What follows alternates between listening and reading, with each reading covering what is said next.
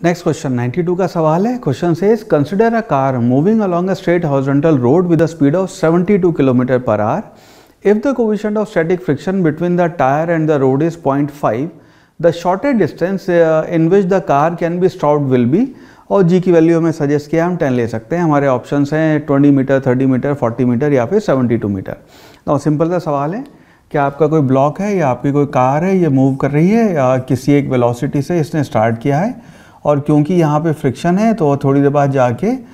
ये रेस्ट पे आ जाएगी या वेलोसिटी इसकी ज़ीरो हो जाएगी। हमें ये बताना है कि कितनी देर बाद कितनी चल चलने के बाद इसकी वेलोसिटी ज़ीरो हो जाएगी। आ, तो सिंपल सा सवाल है इसमें अगर हम थर्ड इक्वेशन ऑफ़ मोशन लगा दें सो हम कह सकते हैं v square is equal to u square plus two a s v की जो फाइनल वैल्यू है वो अपना रेस्ट पे आ रही है तो वी की वैल्यू ज़ीरो हो जाएगी। यू की जो हमें इनिशियल वेलोसिटी दी हुई है that is 72 kilometre per hour उसे हमें मीटर पर सेकंड में कन्वर्ट करना होगा so this will be 72 multiplied by 5 by 18 का स्क्वायर प्लस टू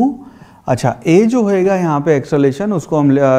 लिख सकते हैं। माइनस म्यू जी और मल्टीप्लाइड बाय एस एस की वैल्यू हमें बतानी है हालाँकि तो इसकी वजह से हम लिख सकते हैं S will be equal to अच्छा 72 डिवाइड बाय 18 मल्टीप्लाइड बाय 5 इसकी वैल्यू अगर हम कैलकुलेट करें सो दिस विल बी 20 का square so this will be equal to 20 square divided by इससे डिवाइड हो जाएगा 2 मल्टीप्लाइड बाय म्यू म्यू की वैल्यू आपकी 0.5 है so that will be equal to one by two multiplied by ten so based on this हम कह सकते हैं इसकी जो फाइनल वैल्यू आ जाएगी that will be 40 metre so 40 metre यानी कि option number B would be the right answer